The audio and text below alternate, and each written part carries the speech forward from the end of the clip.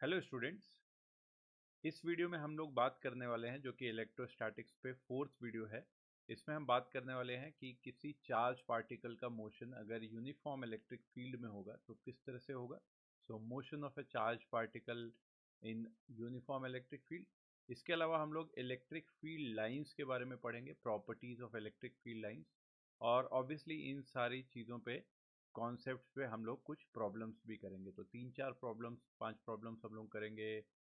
First topic which is motion of charge particle inside uniform electric field और इसके अलावा जो होगा, हम कुछ एक प्रॉब्लम्स करेंगे। दो तीन प्रॉब्लम्स दो प्रॉब्लम्स के आसपास, दो या तीन प्रॉब्लम ऐसे कुछ करेंगे इलेक्ट्रिक फ़ील्ड लाइंस की प्रॉपर्टीज़ के ऊपर। ठीक है? लास्ट वीडियो में हम लोगों ने जो किया था लास्ट वीडियो में हम इलेक्ट्रिक फ़ील्ड पे गए थे। इलेक्ट्रिक फ़ील्ड को डिफाइन किया था। और इलेक्ट्रिक फ़ील्ड के रिज़ल्ट निकाले थे certain type of charge distribution की वजह से। अब उस डिस्कशन को हम लोग बीच के लिए थोड़ा सा पॉज दे रहे हैं। फिर से जो है, यहाँ पे नए टॉपिक में घुस रहे हैं फ़ील्ड लाइन पढ़ेंगे, फिर फ्लक्स पढ़ेंगे और फ्लक्स के बाद फिर से गॉस लॉ और गॉस लॉ के बाद फिर से हम लोग इलेक्ट्रिक फ़ील्ड निकालने पे आ जाएँगे दूसरे तरीके से। तो ये थोड़ा सा नॉन लीनियर सीधे सीधे चल के एक ही टाइप के टॉपिक नहीं करने वाला तरीका होगा। बट हम लोग इस तरह से कर रहे हैं। तो इस वीडियो में चलिए स्टार्ट करते हैं हम लोग। पहला डिस्कशन जो हमारा होगा, वो होगा motion of charge particle inside a uniform electric field. ठीक है? चलिए स्टार्ट करते हैं topic. Motion of charge particle under uniform electric field, है ना? कोई पार्टिकल है, चार्ज पार्टिकल जिस पे चार्ज क्यू है, वो अगर ई e वेक्टर की यूनिफॉर्म इलेक्ट्रिक फ़ील्ड के अंदर रखा हुआ है तो उस पर एक इलेक्ट्रोस्टैटिक फोर्स लगने जा, लग जाएगा। That is equal to Q times E vector अच्छा इसमें अगर E vector is uniform that means जो फोर्स लग रहा है दैट इज़ ऑल्सो यूनिफॉर्म है ना? अब यूनिफॉर्म फोर्स के अंडर किसी भी पार्टिकल का जो मोशन होता है उसको हम अलग तरीके से क्यों पढ़ें क्यों समझें जब एक बार हम ऑलरेडी पढ़ चुके हैं? ये एग्ज़ाम्पल सबने किया हुआ है कि motion of motion of a particle या motion of a projectile under gravitational force तो ग्रेविटेशन जब हम जब हम लोग पढ़ते हैं प्रोजेक्टाइल मोशन पढ़ते हैं तो प्रोजेक्टाइल डिफाइन करते वक्त भी ये चीज़ पढ़ते हैं कि actually projectile is a kind of thing which moves under action of a uniform force ठीक है? तो उसका एक एग्ज़ाम्पल हम लोग जो पढ़ते हैं काइनेमेटिक्स चैप्टर में मोशन अंडर ग्रेविटी पढ़ते हैं और दूसरा एग्ज़ाम्पल समझ लो, यहाँ पे भी वही चीज़ है।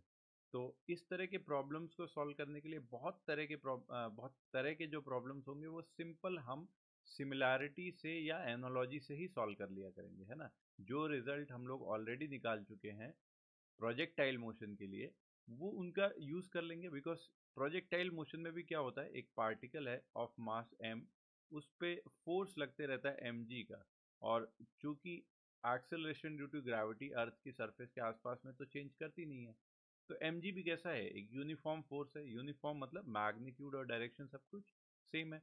सिमिलर यहाँ पे भी कहानी हो रही है कि क्यू ई फोर्स जो लग रहा है इलेक्ट्रोस्टैटिक फोर्स अगर ई e वेक्टर कांस्टेंट हो गया तो क्यू ई फोर्स भी कैसा लगेगा? यूनिफॉर्म लगेगा।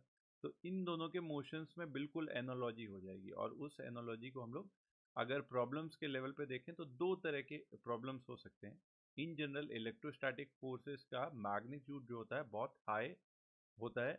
कई ऑर्डर ज़्यादा होता है, हाई ऑर्डर में होता है, कंपेयर टू ग्रेविटेशनल फोर्स तो बहुत सारे प्रॉब्लम्स हो सकते हैं, जहाँ पे ये गिवन भी हो और नहीं भी गिवन हो तो भी वैल्यूज़ से आपको आइडिया लग जाएगा कि ये चीज़ अज्यूम करनी पड़ेगी, केस वन जहाँ पे कोई ग्रेविटेशनल फोर्स नहीं है, ठीक है? तो जहाँ पे कोई ग्रेविटेशनल फोर्स नहीं होगा, या तो क्वेश्चन बता रहा है, या तो क्वेश्चन के डेटा के हिसाब से हमें पता लग रहा है कि उसका कोई यूज़ नहीं हमें करना है, ठीक है? आंसर, ऑप्शन से पता लग रहा है।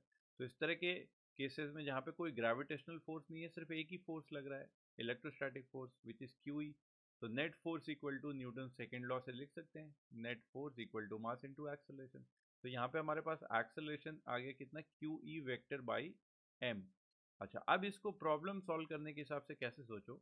जैसे एक्सेलरेशन ड्यू टू ग्रेविटी अगर सिर्फ़ ग्रेविटेशनल फोर्स लगता है तो पार्टिकल का एक्सेलरेशन कितना होता है? Acceleration due to gravity G के बराबर। तो यहाँ पे क्या है कि सिर्फ़ और सिर्फ़ इलेक्ट्रोस्टैटिक फोर्स लग रहा है तो जो एक्सेलरेशन है, उसको मान लो कि नई तरह की एक gravitational acceleration due to gravity हो गई। अच्छा नॉर्मल वाली जो एक्सेलरेशन ड्यू टू ग्रेविटी होती है, उसकी डायरेक्शन हमें पता होता है किस डायरेक्शन में होगी? वो होगी वर्टिकली डाउनवर्ड डायरेक्शन यहाँ पे जो एक्सेलरेशन ड्यू टू ग्रेविटी नया इफ़ेक्टिव बन रहा है, वो किस डायरेक्शन में होगा? ई e वेक्टर की डायरेक्शन में होगा, अगर चार्ज पार्टिकल कैसा है पॉजिटिव है, और ई e वेक्टर के जस्ट ऑपोजिट होगा, अगर चार्ज पार्टिकल कैसा है नेगेटिव है। यहाँ पे दिख रहा है ना क्यू ई वेक्टर ठीक है? क्यू पॉजिटिव हुआ तो ई e वेक्टर के डायरेक्शन में जी इफ़ेक्टिव है। तो अब ऐसे क्वेश्चन में सिंपल अज्यूम कर लो ना कि एक्सेलरेशन ड्यू टू ग्रेविटी इधर लग रही है जी इफ़ेक्टिव की डायरेक्शन में। बाकी जैसा भी मोशन आप ग्रेविटेशन के हिसाब से सोच पा रहे हो, ठीक है?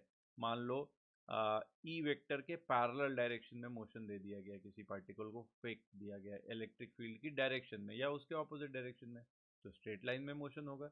जस्ट लाइक like हम acceleration due to gravity vertically downward है, एक बॉल को उठा के ऐसे ऊपर फेंक देंगे तो क्या करेगी? ऊपर जाएगी, नीचे आएगी।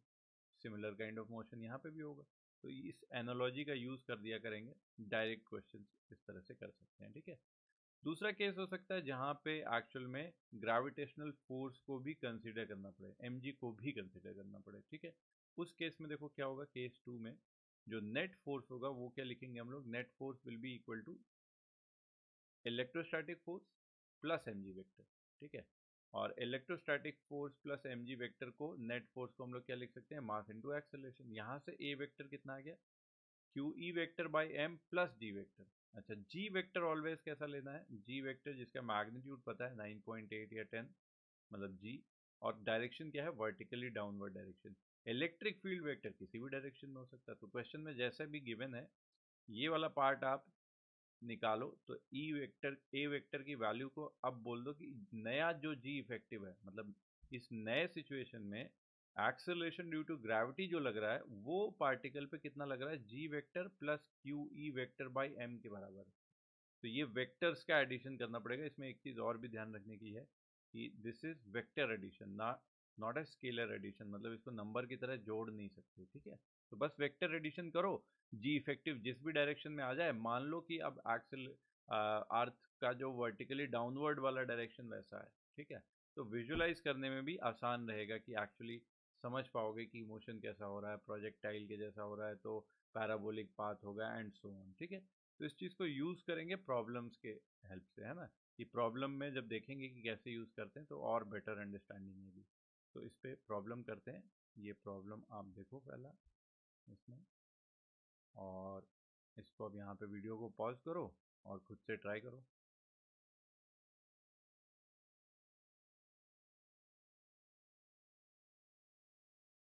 ठीक है? तो इस क्वेश्चन को देख लेते हैं, अगर ट्राई कर लिया। तो इसमें एक पॉजिटिवली चार्ज पार्टिकल है मास एम चार्ज क्यू का।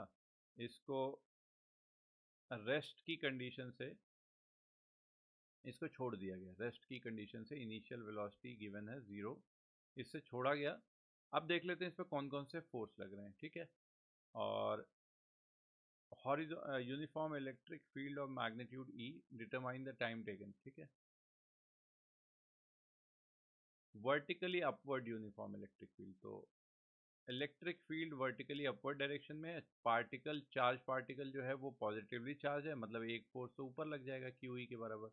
और दूसरा फोर्स एम जी वाला फोर्स डाउनवर्ड डायरेक्शन में लग जाएगा, है ना?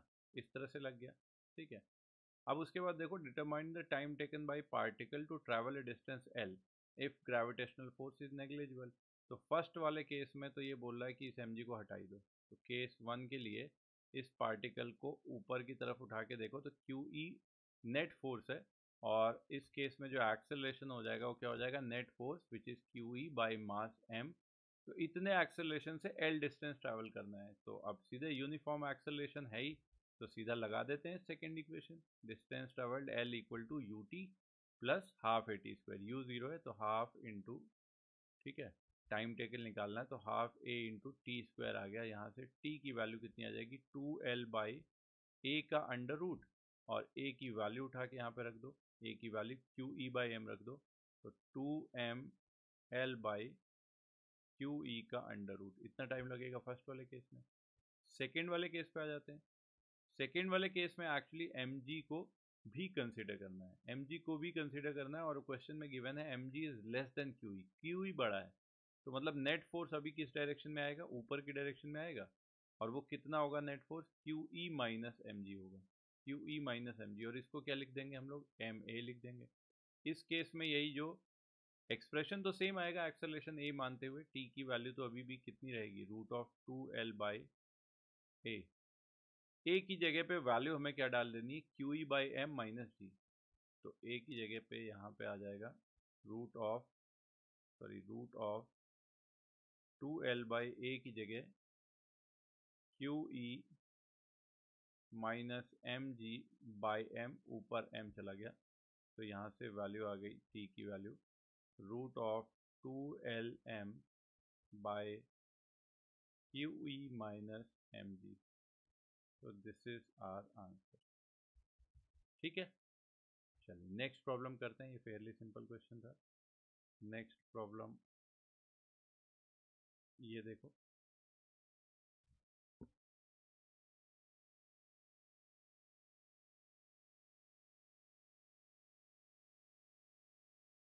तो इस प्रॉब्लम में देखो, इस प्रॉब्लम को थोड़ा सा रिवाइज करते हैं इलेवेंथ का part. Vertical motion under gravity. अगर यहाँ पे कोई इलेक्ट्रिक फ़ील्ड वगैरह नहीं होती तो ये रिज़ल्ट सबको पता है ना कि जैसे जैसे पार्टिकल ये जो है सर्कुलर मोशन जो वर्टिकल प्लेन में कर रहा है जैसे जैसे बॉडी ऊपर की तरफ़ जाती जाएगी, इसकी स्पीड कम होती जाएगी तो जैसे जैसे ये ऊपर जा रही है, velocity will keep on decreasing. और वेलोसिटी के साथ साथ हम टेंशन का भी निकाले ना तो टेंशन भी क्या होता है? डिक्रीज करते जाता है।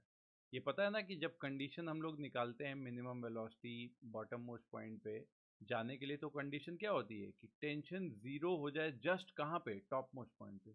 मतलब कि सीधी सी बात है कि नीचे तो टेंशन ज़ीरो है नहीं। धीरे धीरे धीरे करके टेंशन सबसे कम होने के चांस कहाँ है? सबसे ऊपर में और वहाँ पे जस्ट ज़ीरो करते थे। तो ये बात पता है कि जैसे जैसे आप ऊपर जाओगे वर्टिकली अबव ऊपर की तरफ़ जाओगे टेंशन सबसे कम यहीं पे मिलेगी और सबसे ज़्यादा टेंशन नीचे मिलेगी। तो नीचे वाले पॉइंट पे टी की वैल्यू मैक्सिमम मिलनी है, ठीक है? और ऊपर वाले पॉइंट पे यहाँ पे टी की वैल्यू मिनिमम मिलनी है। ये तो तब होता है जब सिर्फ़ और सिर्फ़ ग्रेविटेशनल फोर्स एक्ट कर रही होती। मतलब कि अगर G vector basically acceleration due to gravity जो है, जिसको मैं जी वेक्टर बोल रहा हूँ, वो डाउनवर्ड डायरेक्शन में है तो जी वेक्टर के जस्ट ऑपोजिट वाली साइड पे जब ये पार्टिकल पहुँच रहा था, उस टाइम पे टेंशन मिनिमम है। ठीक है? अब इस केस में देखो क्या हो रहा है। इस केस में इस पार्टिकल पे दो फोर्सेस एक्ट कर रहे हैं। One is M G which is acting downward and another one is Q E जो कि राइट की डायरेक्शन में लग रहा है हॉरिजॉन्टल इलेक्ट्रिक फ़ील्ड है। तो अब इन दोनों का रिजल्टेंट जो होगा, वो वेक्टर सम करके निकाल लो।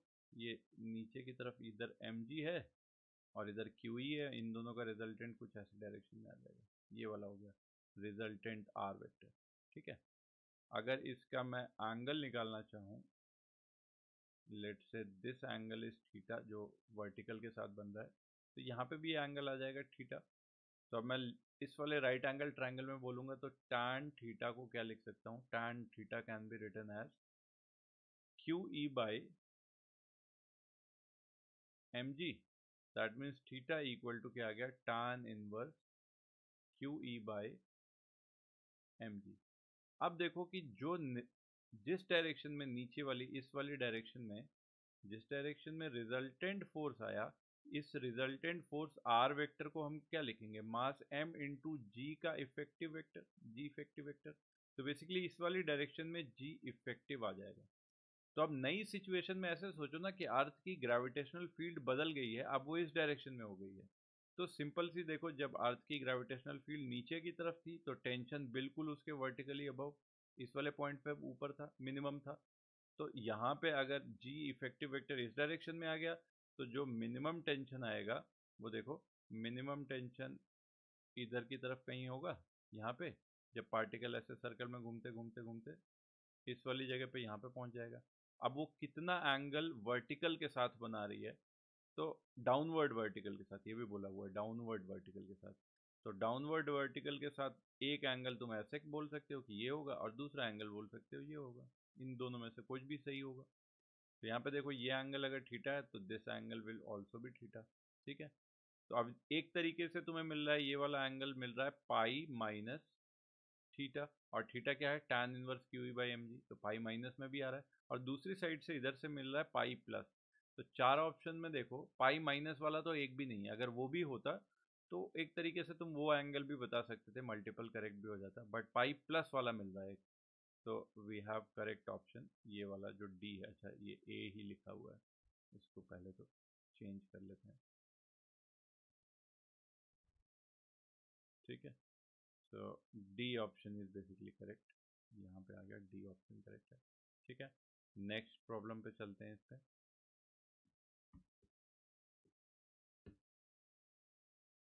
इस क्वेश्चन को देखो।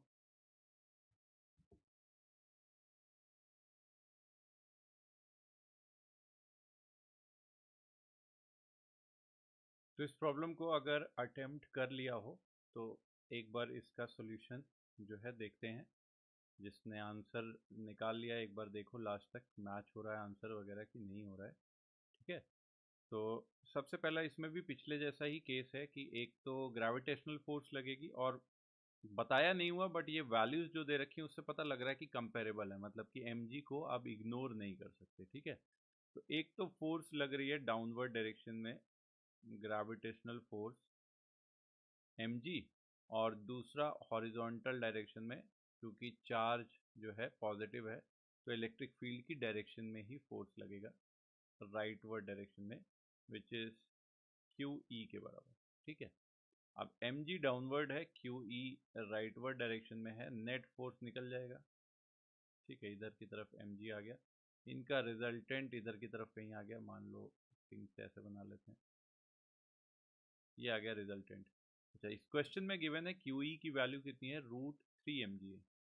तो ये क्यू ई इक्वल टू कितना लिख लें? रूट थ्री एम जी ठीक है? तो ये जो रिजल्टेंट आ जाएगा ये रिजल्टेंट का मैग्नीट्यूड अगर लिखो तो कितना लिख सकते हैं? Under root of Q E का square which is root three M G का स्क्वायर एम जी बाहर आ जाएगा तो रूट थ्री का स्क्वायर कितना हो गया? थ्री प्लस एम जी का स्क्वायर वन और एम जी तो बाहर हम ले ही चुके हैं, क्योंकि दोनों जगह एम जी आ रहा है।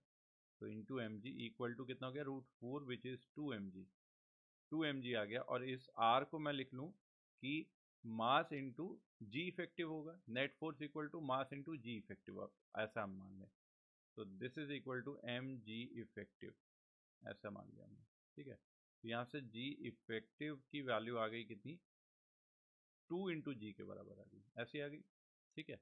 और डायरेक्शन भी पता लग गई, यहाँ पे देखो कि this is equal to basically root three M G और ये हाइट जो है, इस वाले राइट एंगल ट्रायंगल में देखो तो height is M G and base is root three M G तो ये एंगल निकल जाएगा ना।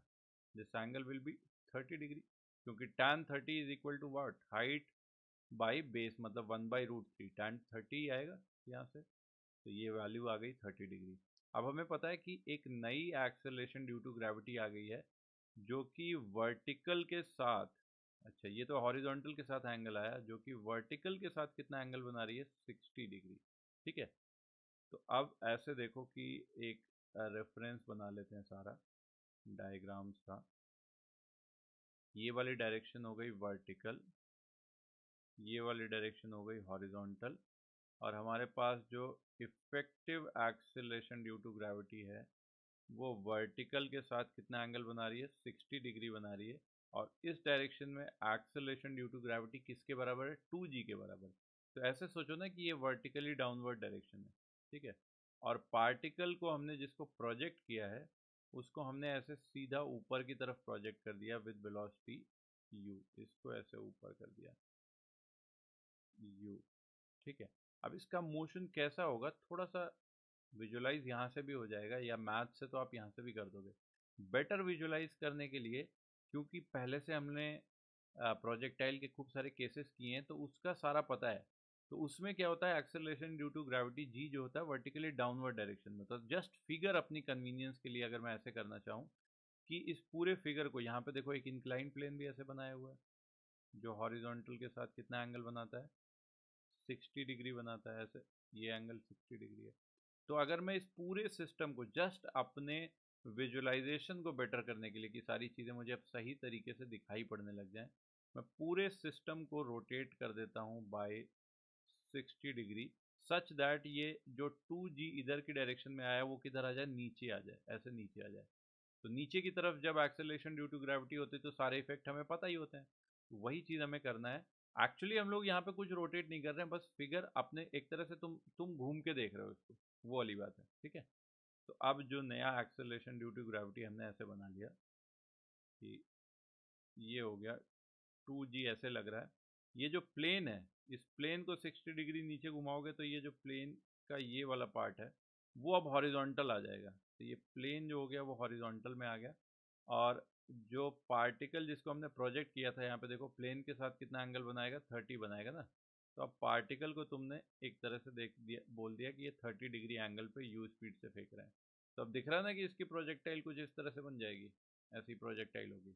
अब इसमें पूछा टाइम कितना लगेगा? तो टाइम ऑफ़ फ़्लाइट पूछ रहा है कि इस प्लेन पे जाके हिट करेगा मतलब सेम हॉरिजॉन्टल लेवल पे पहुँच रहा है ना तो अब टाइम ऑफ़ फ़्लाइट का फॉर्मूला लगा देते हैं which is two U sine theta by G की जगह अब यहाँ पे क्या लगाएँगे? जी इफ़ेक्टिव लगाएँगे, क्योंकि नया जी आ चुका है वो हमारे लिए।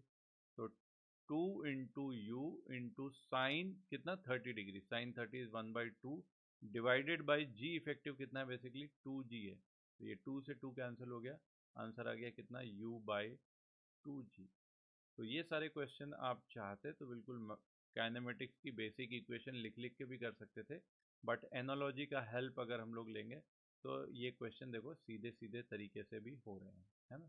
इसमें और कोई दिक्कत नहीं आ रही है, ठीक है? चलो, एक क्वेश्चन और करो इस पर इस क्वेश्चन को देखो।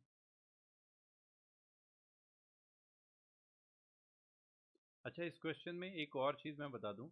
कि इस क्वेश्चन में जो है एमजी को फिर से नेग्लेजिबल ही मान के चलना है।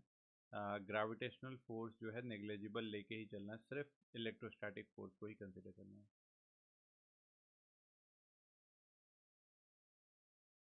चलो तो अगर क्वेश्चन ट्राई कर लिया हो तो फिर से देखते हैं इसको, ठीक है? अब इस क्वेश्चन में देखो क्या हो रहा है कि electron is a negative charge तो इलेक्ट्रिक फ़ील्ड के ऑपोजिट डायरेक्शन में एक ऊपर की तरफ़ इस पर फोर्स लग जा रहा है, कितना लगेगा?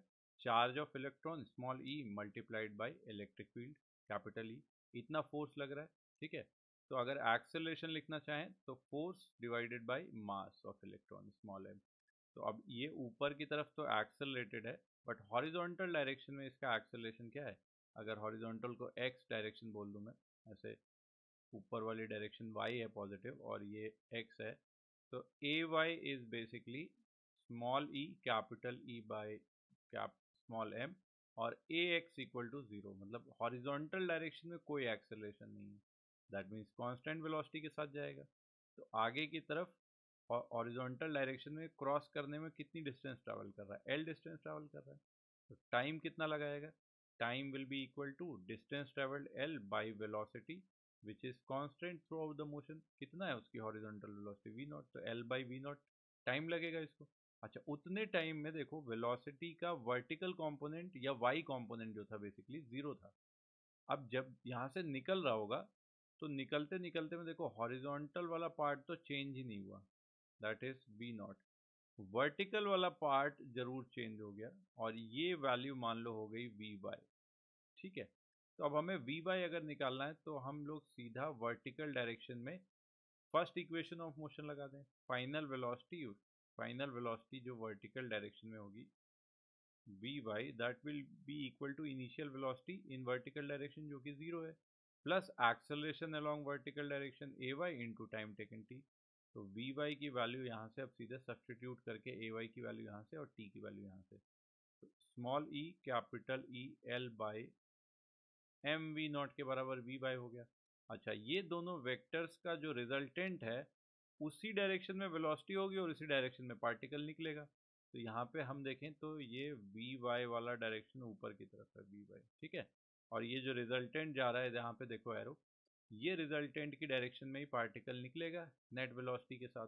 तो यहाँ पे इस वाले राइट एंगल ट्राइंगल में सीधा दिख रहा है ना tan theta equal to V Y by V not हमें थीटा ही निकालना था तो हम सीधा आ जाएँगे। अब tan theta will be equal to V Y by V not और V Y by V not करो तो यहाँ से कितना आ गया? Small E capital E L by M V not का स्क्वायर तो यहाँ से थीटा की वैल्यू आ गई tan inverse tan inverse small E capital E small L by M V not का स्क्वायर ये आ जाएगा आंसर क्लियर है सबको? चलिए, एक last question uniform electric field के अंदर पार्टिकल के मोशन पे एक लास्ट क्वेश्चन करते हैं, ये वाला। अब इसको भी करो। ये बढ़िया कॉन्सेप्चुअल क्वेश्चन है। तो इस क्वेश्चन को अगर ट्राई किया तो ये क्वेश्चन अगर बिल्कुल सही तरीके से आप नहीं करोगे तो देखो, करने के बहुत सारे तरीके हो सकते हैं इसको। और उनमें से सीधे तरीके बहुत छोटे भी होंगे और लंबे तरीके भी आ जाएँगे, है ना? और अगर बिल्कुल आइडिया नहीं लगा, एकदम सही चीज़ स्ट्राइक नहीं करी तो हो सकता है कि होगा अभी नहीं, ठीक है? मुश्किल करेगा। तो इसका एक सिंपल तरीका कोई ढूंढते हैं, करते हैं। देखो इसमें क्या हो रहा है, पहले सिचुएशन को एनालाइज करना ज़रूरी कि एक्चुअल में हुआ क्या, ठीक है? दो पार्टिकल हैं लेट से ए एंड बी, ठीक है? ए की बात पहले कर लेते हैं। तो मान लो ए जो है, जिसका मास एम है, दोनों पार्टिकल का मास सेम है और वेलोसिटी सेम है। ठीक है तो मान लो राइट वर्ड डायरेक्शन में ये इनिशियल कंडीशन है। आई से लिख रहा हूँ इनिशियल कंडीशन आई इसके राइट वर्ड डायरेक्शन में इसकी वेलोसिटी मान लिया हमने वी है। ठीक है? अच्छा फाइनल कंडीशन में क्या है? बोल रहा है कि इसकी स्पीड जो है वो हाफ़ हो जाती और वेलोसिटी अपनी ओरिजिनल डायरेक्शन से 60 डिग्री टर्न कर जाता है। तो ओरिजिनल डायरेक्शन जो हॉरिजॉन्टल वाली थी उसको यहाँ पे बनाया और उससे 60 डिग्री टर्न करते हुए ऐसे फाइनल वेलोसिटी, जिसका मैग्नीट्यूड v बाई टू हो गया, पहले का हाफ़ हो गया, ठीक है? कन्वेंशन के लिए मान लेते हैं कि ये इनिशियल वेलोसिटी जो थी वो एक्स डायरेक्शन में थी और ये ऊपर वाली डायरेक्शन मान लो वाई डायरेक्शन में थी, ठीक है? अब आते हैं बी के लिए, ठीक है? तो बी के लिए इनिशियल एंड फाइनल ऐसे ही अगर हम लोग बनाए तो बी वाले की भी इनिशियल वेलोसिटी तो वही है सेम है। Initial condition are same initial velocity V है एक्स डायरेक्शन में वी नॉट लिख दिया मैंने सॉरी इसको वी ही लेते हैं, ठीक है? फाइनल में बोल रहा है कि it has turn to 60 degree तो अब x की जगह फाइनल y डायरेक्शन में हो गई वेलोसिटी अच्छा कितनी प्रोपोर्शन में चेंज हुई? वही चीज़ हमें निकालना है बेसिकली वेलोसिटी फाइनल जो है बी की डिवाइडेड बाई जो इनिशियल वाली है, ठीक है? तो वो मान लेते हैं कि वी डैश हो गई तो हमें वी डैश बाई वी निकालना है बेसिकली है ना? रेशियो या प्रोपोर्शन निकालना है। और ये डायरेक्शन जो है इनिशियल वाले का 90 डिग्री एंगल है। अब इसको कैसे सॉल्व करें, कैसे सॉल्व करें? एक और तरीका देखो कि जो फोर्स है, वो जो भी चीज़ इलेक्ट्रोस्टैटिक फोर्स जो दोनों पे लग रही है, वो डिफरेंट डिफरेंट अमाउंट की लग रही है। मासेस सबके क्या है? सेम है मासेस सेम है बट फोर्स अलग है तो एक्सेलरेशन भी अलग अलग आएगा, ठीक है? तो काइनेमेटिक्स वाले तरीके की जगह अगर हम यहाँ पे सोचें कि जो फोर्स लग रही है, वो कुछ टाइम के लिए लगती है, दोनों के लिए वो टाइम सेम है तो उसका इम्पल्स जो होगा अल्टीमेटली मोमेंटम में वही चेंज करा रहा है, क्योंकि हमें देखो इनिशियल एंड फाइनल वेलोसिटीज़ के बारे में कुछ की इन्फॉर्मेशन है तो फाइनल वेलोसिटी इनिशियल वेलोसिटीज़ के बारे में इन्फॉर्मेशन पता है तो इसका मतलब फाइनल मोमेंटम और इनिशियल मोमेंटम के बारे में भी इन्फॉर्मेशन पता है। तो मैं अगर फ़र्स्ट वाले के लिए इम्पल्स मोमेंटम थ्योरम लिखूँ, that means let say electric field vector E vector है यहाँ पे लग रहा है। तो फ़र्स्ट वाले पे जो फोर्स लग रहा है, that is Q times E one vector E vector, sorry Q one लिखना चाहिए मैंने। फ़र्स्ट वाले पे जो चार्ज है वो कितना क्यू वन है। Q one times E vector, ये हो गया force into time taken into time taken ये हो गया नेट इम्पल्स और net impulse will be equal to change in momentum अच्छा मोमेंटम में चेंज लिखना है तो फाइनल माइनस इनिशियल लिखें। तो मास तो देखो एम ले लो। अगर मैं ए के लिए लिख रहा हूँ ए के लिए लिख रहा हूँ ये तो मास एम हो गया। और फाइनल वेलोसिटी अब वेक्टर की फॉर्म में लिख लेते हैं आई कैप जे कैप तो फाइनल जो है ए की वेलोसिटी का वेक्टर जो जाएगा, देखो ये एंगल 60 डिग्री है। तो फाइनल वेलोसिटी वेक्टर जो हो जाएगा वो v by two sine sixty J cap V by two cos sixty I cap तो v by two cos sixty हो गया, v बाई फोर तो v by four I cap plus root three V by four J cap ये हो गई final velocity तो mass into final velocity minus initial velocity यही होगा चेंज चेंज इन मोमेंटम तो इनिशियल वेलोसिटी वेक्टर को लिखोगे तो देखो वाई डायरेक्शन में कुछ भी नहीं है। एक्स डायरेक्शन में वी है तो माइनस वी आई कैप ऐसे लिख लिया। ठीक है? इसी को अगर मैं ऐसे लिखूं तो Q one E vector into time taken T equal to V by four minus V I cap तो minus three by four M V I cap ऐसे हो गया। Plus root three by four M V J cap इसको बोल देते हैं equation number one यही same impulse momentum की थ्योरम हम लोग लिख लेते हैं सेकेंड वाले बी वाले के लिए. तो उस पर जो फोर्स लग रहा है वो कितना लग रहा है? क्यू टू लग रहा है. Q two into E vector into time taken net impulse equal to final momentum minus initial momentum अच्छा फाइनल मोमेंटम में क्या हो जाएगा? M V dash into J cap है ना? तो एक पार्ट आ गया फाइनल मोमेंटम तो आ गया plus M V dash into J cap ये हो गया फाइनल माइनस इनिशियल करना है तो इनिशियल वाले में कितना आ जाएगा? M V into I cap X direction में वेलोसिटी थी तो minus M V I cap ये आ गया, ये हो गई इक्वेशन नंबर टू अच्छा इससे क्या सॉल्व करें? देखो, लंबा तरीका, कुछ भी कंफ्यूजन हुई और सीधा क्लैरिटी के साथ नहीं दिखी वो चीज़ तो बहुत लंबा चले जाओगे या ये क्वेश्चन लगेगा कि ये कहाँ जाएगा, इससे क्या करें, ठीक है? और बिल्कुल सही तरीके से सोचो, देखो वेक्टर की एक सिंपल चीज़ है कि लेफ़्ट हैंड साइड पे दोनों इक्वेशन में जो भी मैंने लिखा हुआ है Q1 ई वेक्टर इंटू टी और यहाँ पे Q2 E vector into T ये अल्टीमेटली जो है, ये ई e वेक्टर की डायरेक्शन में ही तो होने हैं। तो मैं राइट हैंड साइड का बोलूँ, ये पार्ट और ये पार्ट ये अगर लेफ़्ट हैंड साइड पे दो पैरेलल वेक्टर्स हैं मैग्नीट्यूड Q1 Q2 के अलग हैं तो इसका मतलब है, हो सकता है कि दो जो एरोज आ रहे हैं, उनकी लेंथ अलग हो बट ये दोनों पैरेलल वेक्टर्स हैं ना? अगर पैरेलल वेक्टर्स हैं तो ये एक्स एक्सिस के साथ जो एंगल बनाएँगे, वो चाहे फ़र्स्ट वाले वेक्टर का लो राइट हैंड साइड या सेकेंड वाले वेक्टर का लो, वो सेम होना चाहिए, ठीक है? और एक्स एक्सिस के साथ एंगल क्या कोई भी वेक्टर बनाएगा? अगर मैं ये आर वेक्टर लिख रहा हूँ तो इसका एक एक्स कॉम्पोनेंट होगा, ठीक है? और एक वाई कॉम्पोनेंट होगा। तो मैं ऐसे ही लिखता हूँ ना आर वेक्टर को। X component R X into I cap plus R Y into J cap तो बेसिकली अगर थीटा सेम है तो मैं ऐसे लिख सकता हूँ कि जे कैप का कोफिशियंट बाई आई कैप का कोफिशियंट ये पार्ट जो होगा, ये दोनों ही वेक्टर्स के लिए, दोनों ही इक्वेशन फ़र्स्ट एंड सेकंड के लिए, जो राइट हैंड साइड में चीज़ लिखी हुई है वो सेम होनी चाहिए बिकॉज़ थीटा क्या है? सेम है सेम डायरेक्शन के वेक्टर्स हैं। तो बस इतना ही पार्ट हम लोग यूज़ करेंगे और ये क्वेश्चन फटाक से हो जाएगा। तो यहाँ पे देखो root three by four M V divided by minus of three by four M V M V से एम वी पूरा कैंसिल हो रहा है फोर से फोर पूरा कैंसिल हो रहा है। बच क्या रहा है? Root three by three which is again minus one by root three तो minus one by root three equal to second वाली इक्वेशन का देखो M V dash divided by minus M V तो एम से एम कैंसिल हो गया minus एक बचा, और बचा कितना? वी डैश बाई वी तो यहाँ पे हमसे रेशियो ही तो पूछा गया था वी डैश बाई वी कितना होगा? तो वी डैश बाई वी की वैल्यू आ गई। किस रेशियो में जो है वेलोसिटी चेंज हो जाएगी? वन बाई रूट थ्री के रेशियो में वेलोसिटी चेंज हो जाएगी। आंसर यहाँ से आ गया। ठीक है? तो ये थोड़ा सा ट्रिकी क्वेश्चन था। मतलब कम टाइम में काम कर क्वेश्चन करने के लिए थोड़ा सा ट्रिकी था।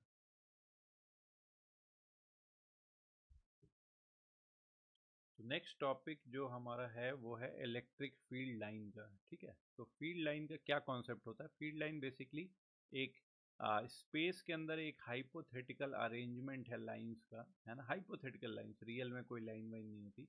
एक हाइपोथेटिकल अरेंजमेंट है जिससे हम एक कंपेरेटिव आइडिया ले सकें, अंदाजे से एक जगह के दूसरे जगह की फ़ील्ड का एक अंदाज़ा ले सकें, है ना? कि यहाँ पे अगर मैं चार्ज रखूँगा तो कम फोर्स लगेगा या ज़्यादा फोर्स लगेगा एज़ कंपेयर टू दूसरी जगह पे, है ना? एब्सोल्यूट में कुछ आइडिया भी नहीं होता फ़ील्ड लाइन से। मतलब एग्जैक्टली exactly तुम ये नहीं बता सकते फ़ील्ड लाइन देख के कि यहाँ पे फोर्स कितना लगेगा अगर मैं चार्ज को रख दूँ। जैसा फ़ील्ड एग्जैक्टली सब कुछ बता देगी कि अगर मुझे एग्जैक्टली इस पॉइंट पे फ़ील्ड पता हो तो सब पता लग जाएगा कि फोर्स वगैरह कितना लगेगा। बट फ़ील्ड लाइन से हम सिर्फ़ कंपैरिजन ड्रॉ कर सकते हैं, ठीक है? तो कंपैरिजन करने का एक टूल है हाइपोथेटिकल लाइंस का टूल है, जो लाइंस क्या बताती हैं? इलेक्ट्रिक फ़ील्ड के बारे में इंफॉर्मेशन और फ़ील्ड जो है वेक्टर क्वांटिटी है तो उसके बारे में दो ही इंफॉर्मेशन है। वेक्टर के पास क्या होती है? दो information one is called magnitude and another direction तो ये दो इंफॉर्मेशन को वो लाइन के थ्रू कैसे हम लोग बनाते हैं, वो ज़रा देखो यहाँ पे। ठीक है? तो जैसे इलेक्ट्रिक फ़ील्ड लाइंस को मैंने इस तरह से बना दिया, ऐसे लाइन मान लो रैंडम से ऐसे बना दी ठीक है?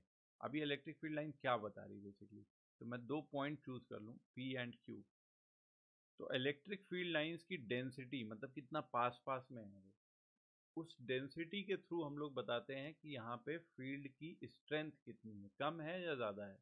तो अगर लाइंस बहुत पास पास में क्लोज हैं डेंसिटी बहुत हाई है तो हमने इस तरह से बनाया हुआ है कि हम बोलते हैं कि वहाँ पे इलेक्ट्रिक फ़ील्ड की इंटेंसिटी क्या है या मैग्नीट्यूड जो है वो बड़ा है।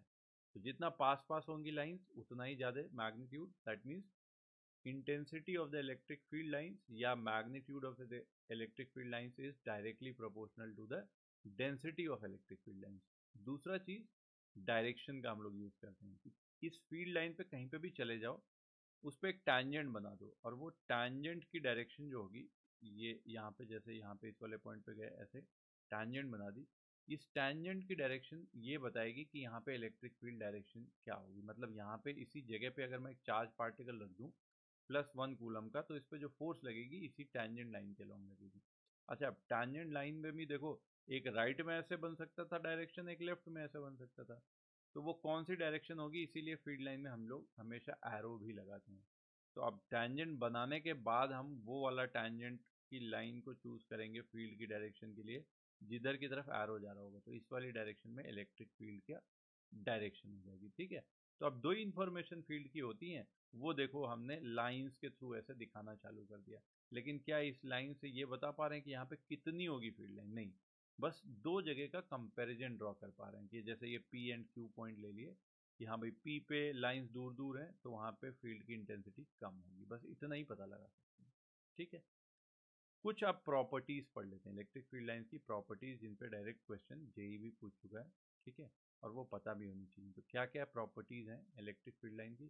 पहली एंड दूसरी प्रॉपर्टी बिल्कुल बेसिक जो आपकी डेफिनेशन का पार्ट हो गया density of field lines is proportional to magnitude of electric field and tangent at electric field line represents the direction of electric field ठीक है? ये दोनों तो सेम हो गए। और नेक्स्ट एक एक करके हम डिस्कस करते जाते हैं। थर्ड फ़ील्ड लाइन की प्रॉपर्टी क्या है कि electric field lines never cross each other या इंटरसेक्ट ईच अदर है ना? कभी इंटरसेक्ट नहीं करते। क्यों नहीं कर सकते? अब इसको हम लोग प्रूव कर सकते हैं थ्रू कॉन्ट्राडिक्शन कि मान लो प्रूव मान लो कट करते होंगे तो मान लिया अगर यहाँ पे ऐसे कट कर रहे हैं तो अच्छा किसी भी इलेक्ट्रिक फ़ील्ड लाइन के पॉइंट पे हम लोग को फ़ील्ड की डायरेक्शन निकालनी होती है तो हम क्या करते हैं? टैंजेंट बनाते हैं। तो मान लो इसी इंटरसेक्शन वाले पॉइंट पे एक टैंजेंट मैंने ऐसे बना लिया। अच्छा एक लाइन ऐसे भी तो जा रही है तो एक टैंजेंट ऐसे भी बन जाएगा, ठीक है? अब टैंजेंट की डायरेक्शन होती है फ़ील्ड की डायरेक्शन मतलब कि यहाँ पे मैं प्लस वन कूलम के चार्ज को रखूँ तो जिधर फ़ील्ड की डायरेक्शन उधर ही फोर्स लगेगा। अब यहाँ तो दो डायरेक्शन आ रही है तो क्या दो डायरेक्शन में फोर्स लगेगा? नेट फोर्स तो नहीं लग सकता। तो इसका मतलब ऐसा सिचुएशन भी नहीं हो सकती। क्लियर है बात? नेक्स्ट प्रॉपर्टी जो है नेक्स्ट प्रॉपर्टी है कि electric field lines never form a close loop क्यों होता है ऐसा? क्योंकि इलेक्ट्रिक फ़ील्ड मतलब आगे हम लोग पढ़ेंगे कि एक special type of electric field भी होती है जब इलेक्ट्रोमैग्नेटिक इंडक्शन चैप्टर पढ़ रहे होंगे ईएमआई चैप्टर तो वहाँ पे देखेंगे एक अलग टाइप की इलेक्ट्रिक फ़ील्ड होती है स्पेशल इलेक्ट्रिक फ़ील्ड उसमें वो ऐसा हो भी सकता है क्लोज लूप बना भी सकती है मतलब वो बनाती ही है, ठीक है? But normal electric field lines never form a close loop ऐसे क्लोज लूप पे नहीं जा सकती क्यों? क्योंकि कंजर्वेटिव फोर्स फ़ील्ड होती है, ठीक है? और कंजर्वेटिव फोर्स फ़ील्ड कोई भी तरह की हो, ठीक है, चाहे ग्रेविटेशनल भी ले लो कोई भी ले लो, वो कभी भी क्लोज लूप नहीं बनाएगी। लॉजिकल इसका एक्सप्लेनेशन कैसे दे सकते हैं? मान लो एक चार्ज पार्टिकल पकड़ा वन कुलम का इसको पकड़ के बहुत धीरे धीरे धीरे धीरे मतलब कि इसकी काइनेटिक एनर्जी में विदाउट चेंज करे। मान लेते हैं, इसमें भी वही है कॉन्ट्राडिक्शन के थ्रू ही कर रहे हैं। मान लिया कि चलो फ़ील्ड लाइन ये क्लोज लूप बन गई है, ठीक है। तो अब इसी फ़ील्ड पे, इसी लाइन पे चलाते हुए मैं लेके आऊँगा अगर स्लोली चलाते हुए लेके आऊँगा तो इलेक्ट्रोस्टैटिक फोर्स तो टेंजेंट की डायरेक्शन में ही है, और इसका पाथ भी उसी डायरेक्शन में है। तो मतलब हम फोर्स भी एफ़ ई भी इसी डायरेक्शन में लगा रहे हैं, और स्मॉल स्मॉल डिस्प्लेसमेंट भी डी आर भी उसी डायरेक्शन में दे रहे हैं। तो for any small displacement the work done by electrostatic force D W electrostatic force जो होगा, वो क्या हो जाएगा? सीधा F E multiplied by D R हो जाएगा, है ना? क्यों? क्योंकि बीच का एंगल तो ज़ीरो ही है।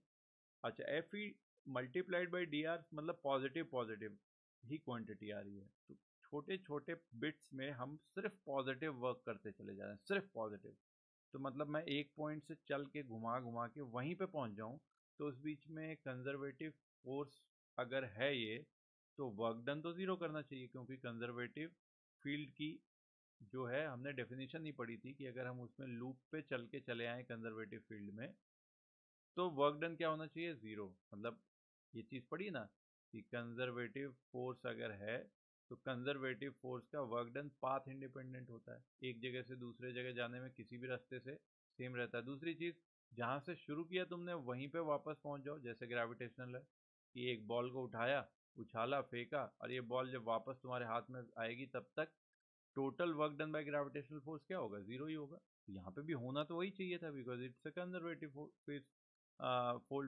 field है है ना? और कंजर्वेटिव फ़ील्ड अगर है तो ये ज़ीरो होना चाहिए था बट इस केस में हमने प्रूव कर दिया कि अगर ये लाइंस ऐसे होती लूप की फॉर्म में तो हम लोग दिखा रहे हैं कि एक्चुअली वर्क डन में ज़ीरो आता नहीं।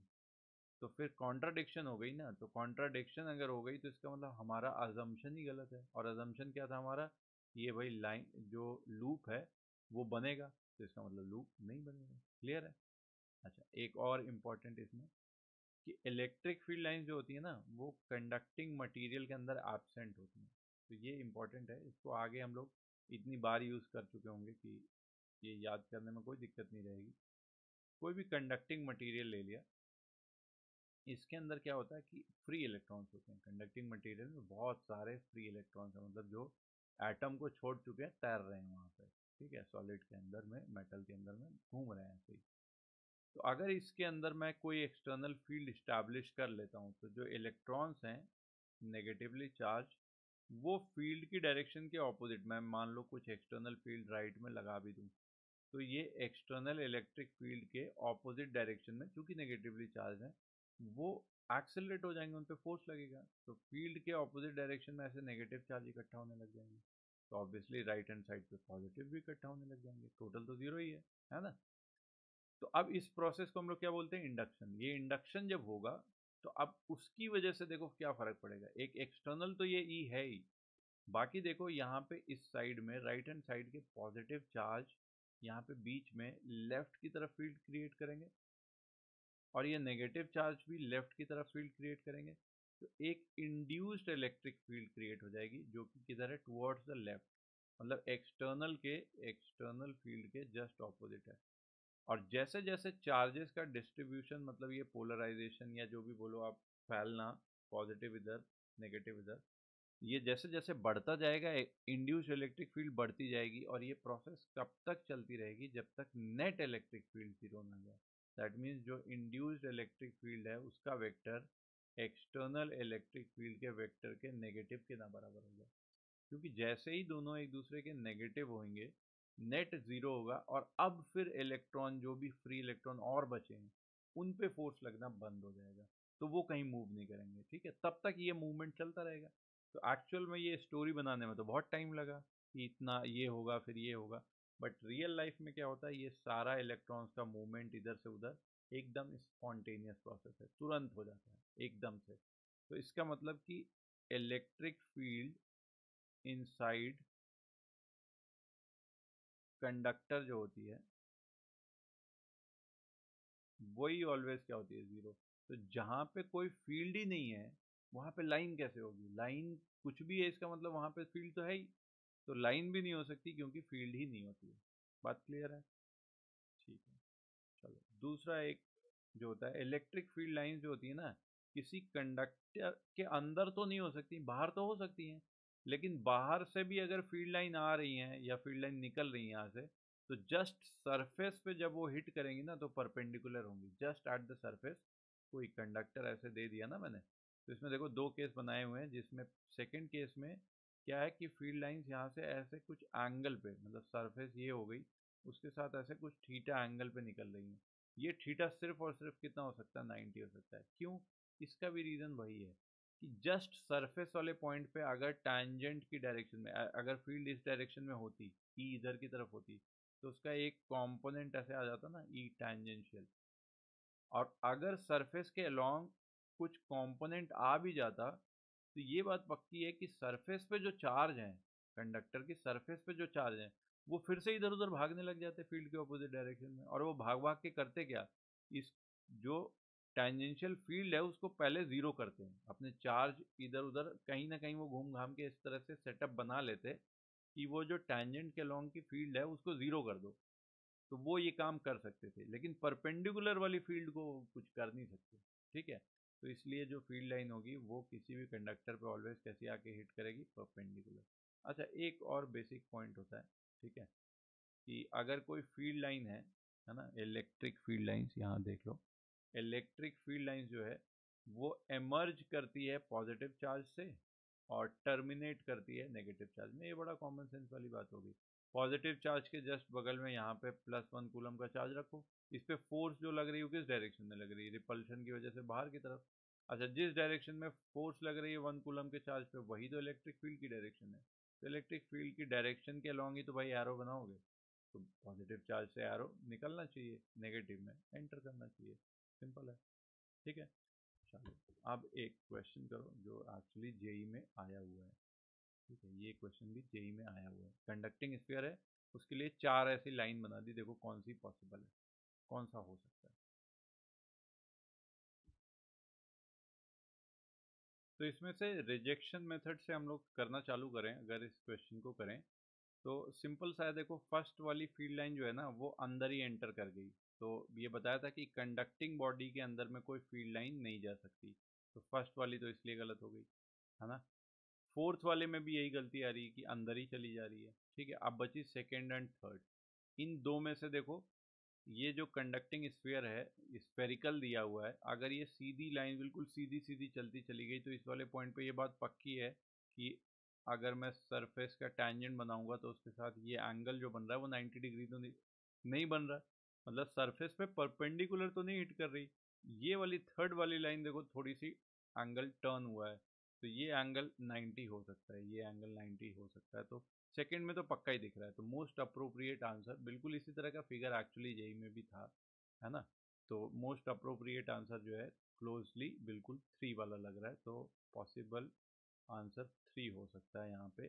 परपेंडिकुलर में सरफेस के परपेंडिकुलर आके फ़ील्ड लाइन टच कर रही है या हिट कर रही है, ठीक है? अच्छा अब कुछ स्पेशल केसेस ले लेते हैं, कुछ तरह के केसेस जिसमें फ़ील्ड लाइन हम लोग कैसे बनाते हैं, ठीक है? तो फ़ील्ड लाइन का जैसे पॉइंट चार्ज की वजह से ले लेते हैं हम लोग, है ना? और मान लो दो पॉइंट चार्ज ले लेंगे, उसकी वजह से कैसे बनेगा? तो सो ऑन तो इसमें पॉइंट चार्ज का पहला केस लो। तो field line due to various charge distribution, जिसमें पहला वाला ले ले रहे हैं हम लोग, पॉइंट चार्ज। पॉजिटिव चार्ज अगर लेगो तो लोगे तो उसकी वजह से क्या हो जाएगा? फ़ील्ड लाइन से बाहर की तरफ़ निकलेंगी। और सब ये रेडियली सिमेट्रिकल तरीके से बाहर निकलेंगी। क्यों? क्योंकि हमें तो पता ही है ना कि आर डिस्टेंस पे पॉइंट चार्ज से आर डिस्टेंस पे इधर की तरफ़ आर वेक्टर की डायरेक्शन में आर वेक्टर की तरफ़ आर वेक्टर की ही डायरेक्शन में जो फ़ील्ड का फॉर्मूला होता है हमारा या एक्सप्रेशन होता है K Q by R square into R cap ऐसे लिखते हो ना? तो जिधर की तरफ़ तुम्हारा रेडियस वेक्टर उधर की तरफ़ फ़ील्ड लाइन होनी चाहिए तो डायरेक्शन इससे हो गया। और बाकी आर की वैल्यू अगर कांस्टेंट है तो तुम किधर की तरफ़ भी बढ़ो। मैं इधर बढ़ूँ, ये इधर बढ़ूँ अगर चार्ज पार्टिकल से दो सेंटीमीटर दूर जा रहा हूँ तो पॉइंट से किसी भी डायरेक्शन में जाऊँ। बेसिकली एक स्पेयर की पूरी सरफेस पे कहीं पे भी रहूँ, हर जगह फ़ील्ड क्या होनी चाहिए? सेम होनी चाहिए। तो एक पॉइंट से हर एक पॉसिबल डायरेक्शन में फ़ील्ड लाइन जा रही है और सबके बीच में स्पेसिंग कैसी है? सेम है, यूनिफॉर्म। तो कुछ इस तरह की फ़ील्ड लाइन हो जाएगी। नेगेटिव के लिए होगा तो बस यही हो जाएगा, फ़र्क एरो का फ़र्क हो जाएगा कि अब टर्मिनेट होनी चाहिए लाइन तो एरो की डायरेक्शन उल्टी कर दोगे, दैट्स ऑल। ठीक है? फिर मान लो अगर मैं एक केस लेता हूँ जिसमें एक पॉजिटिव चार्ज ले लेता हूँ और एक नेगेटिव चार्ज ले लेता हूँ। तो अब इसमें क्या होगा? पॉजिटिव से फ़ील्ड लाइन निकलेंगी, नेगेटिव में एंटर करेंगी ऐसे। बीच में कहीं पे भी आओ, बीच में ज्वाइन करने वाली लाइन पे देखो, पॉजिटिव से नेगेटिव की तरफ़ ऐसे। यहाँ पे पॉजिटिव से निकली, बाहर जा रही है ऐसे, दूर जा रही है नेगेटिव से इन्फेनाइट से आ रही है, सिमेट्रिकल तरीके से हो जाएगा। इस केस में हम लोग लेके चल रहे हैं कि दोनों चार्जेस क्या है? मैग्नीट्यूड सेम है। मैग्नीट्यूड सेम नहीं होता तो एग्जैक्टली सिमेट्रिकल नहीं दिखता, होता शेप कुछ इसी के जैसा, ठीक है? अब मान लो दो सेम नेचर के चार्ज ले लिए मैंने पॉजिटिव पॉजिटिव ले लिया या नेगेटिव नेगेटिव ले लिया, ठीक है? तब कैसा होगा? तो देखो इस तरह का कुछ होगा। दो पॉजिटिव ले लिए, बिल्कुल यूनिफॉर्म इसमें सिमेट्रिकल मैंने रखा। नॉन सिमेट्रिकल होगा तो भी एक स्टाइल सेम होगी, है ना? बस थोड़ा सा होगा कि एक का इफ़ेक्ट का रीजन बढ़ जाएगा। इसमें क्या है, देखो फ़ील्ड लाइन ऐसे पॉजिटिव से निकल रही है, बाहर जा रही है इन्फेनाइट में। ऐसे निकल रही, बाहर जा रही है। बीच में एक खाली जगह भी है यहाँ पे, है ना? वो खाली जगह क्या बता रही है? जिसको हम बोलते हैं null point null point that means यहाँ पे फ़ील्ड की वैल्यू क्या हो जाए? ज़ीरो हो जाए। तो यहाँ पे अगर दोनों चार्जेस बेसिकली सेम मैग्नीट्यूड के हैं तो मिड पॉइंट पे एक जगह ऐसी आएगी ना जहाँ पे इलेक्ट्रिक फ़ील्ड की वैल्यू क्या है? ज़ीरो है। तो इस तरह के स्पेस में वो दिख रहा है कि यहाँ पे कहीं ज़ीरो भी है। तो इस तरह का कुछ सिचुएशन बनेगा। ठीक है? तो ये केसेस कर लिए हम लोगों ने और बाकी जो है, इस पे एक क्वेश्चन और करते हैं जो जेई में पूछा गया है। वो भी जेई का पूछा हुआ क्वेश्चन करते हैं। देखो इस क्वेश्चन को करो।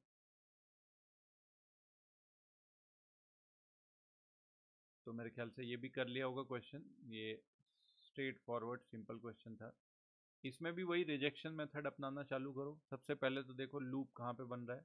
ऑप्शन बी में देखो बीच में लूप बना दिया। क्लोज लूप तो बन ही नहीं सकता। ये गया ऑप्शन, नहीं हो सकता।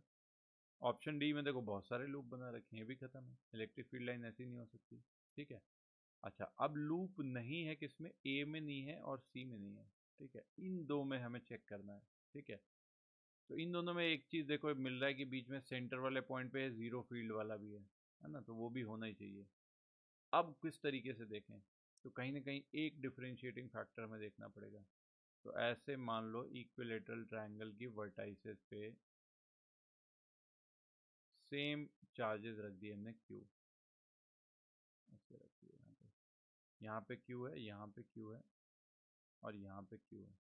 अच्छा मैं इन दोनों को ज्वाइन करने वाली लाइन के बीच में मिड पॉइंट पे आ जाता हूँ। कोई भी दो चार्ज को ज्वाइन करने वाली लाइन के मिड पॉइंट पे यहाँ पे पहुँच जाऊँ। जो कि बेसिकली इस वाले स्मॉल क्यू चार्ज के परपेंडिकुलर का फुट भी होगा।